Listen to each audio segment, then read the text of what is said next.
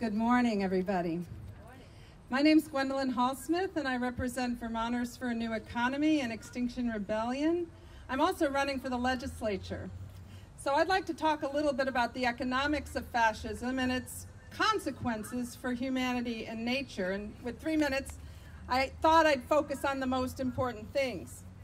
The dramatic increase in oppressive state violence we've seen over the last few weeks is the logical outcome of a militarized economy that's been increasingly unjust for a century now. To roll back fascism, we need to demilitarize Vermont and we need to demilitarize the United States. One F-35 plane costs between 94 and 112 million dollars. This year, the state of Vermont lost $89 million in the tax revenue we need to support our schools. One F-35 plane would close that gap. As a country, we spend $98 billion a year on nuclear weapons, maintaining them, upgrading them, keeping them operational. For what? For a nuclear war we're going to fight? It's collective insanity.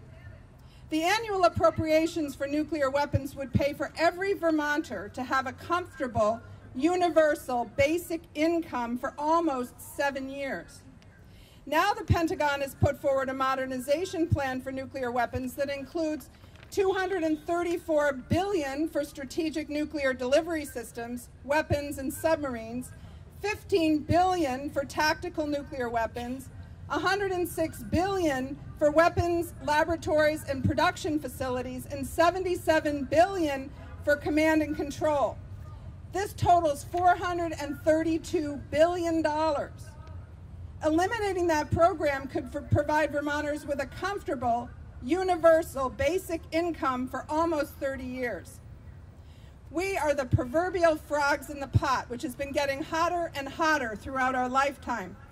As a municipal employee, I've watched as the federal government has provided military gear to our police departments here in Vermont, while social services, special education, and environmental programs go unfunded. In the last four years, we've watched as the federal government builds a wall between us and our southern neighbors while we violate international conventions by taking children from their parents and putting them in cages. It's here in Vermont, too. You can go through any border crossing now and see the cages that they've put there for people who they deem less than human. It's monstrous. It's monstrous, and it needs to stop. We have choices. Yes. We have choices as Americans. We need to reject the fear and scarcity based logic of the fascist state and choose peace and prosperity. I'm reminded of Sitting Bull, who told of two wolves who lived inside of him and were constantly fighting. One was evil, which is anger, envy, sorrow, regret, greed, arrogance, self pity, guilt, resentment, inferiority, lies, false pride, superiority, and ego. Does that sound familiar? the other is good. Joy, peace, love, hope, serenity, humility, kindness, benevolence, empathy, generosity, truth, compassion, and faith. When asked which wolf would win the fight, Sitting Bull said, the one you feed. Right now we're feeding the wrong wolf. And if I'm elected to the legislature, I'll make sure that I work to keep Vermont feeding the right one. Thank you.